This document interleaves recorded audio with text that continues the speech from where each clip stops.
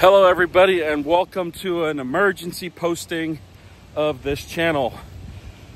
It broke literally for like five minutes. It's still windy as can be, raining a little bit, but the winds are no longer 75 miles per hour. Uh, trees damaged. In fact, have a look at that tree. Gone. I lost a piece of my edge of my roof up there that's it. That's all the damage I got. We're okay. All three cars are okay. Uh, as far as I can tell, all the critical stuff. There's the EUV from all sides. It looks okay, just covered in leaves. Uh, my TDI was uh, beat up by trash cans, but I moved those trash cans over there where they're a little bit out of the uh, way of the wind. So the wind's coming from right there. As you can kind of make out, I don't know if you can tell, they're swirling this way. Um, Atlanta, that way. Uh, Myrtle Beach, that way. Charleston, that way. Uh, those places got tornadoes. We did not. So uh, another tree just fell. I think. I didn't see that tree before. But that one's on the ground. This one's on the ground. This tree is literally the only tree that's left on my property. Oh, and this one. But they're too small uh, and they, uh, they won't fly away. Uh, in fact, this one's got power and spectrum going through it. So at some point I will have to maintain that.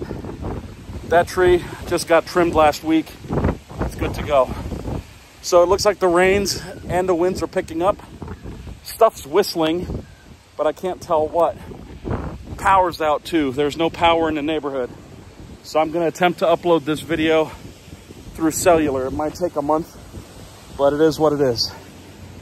This is the extent of our flooding. Not bad. The grass kind of wicked it all up and sent it down to the reservoir. So I'm really thrilled about that. House overall in one piece. You can probably imagine what that felt like up there when the winds were approaching 75 miles per hour. When it hit us, uh, I, I, don't remember the, uh, like, Helene or whatever they called it that storm, when it hit, it was a category one. Now it's a tropical storm. Here we are, just getting rained on and wind. But like I said, there's no power. The town is out. We've been out for about three hours. I've actually exhausted my uninterruptible power supplies up in my office that run my servers and network equipment. So they're down. Eddie's over here waving. He's happy.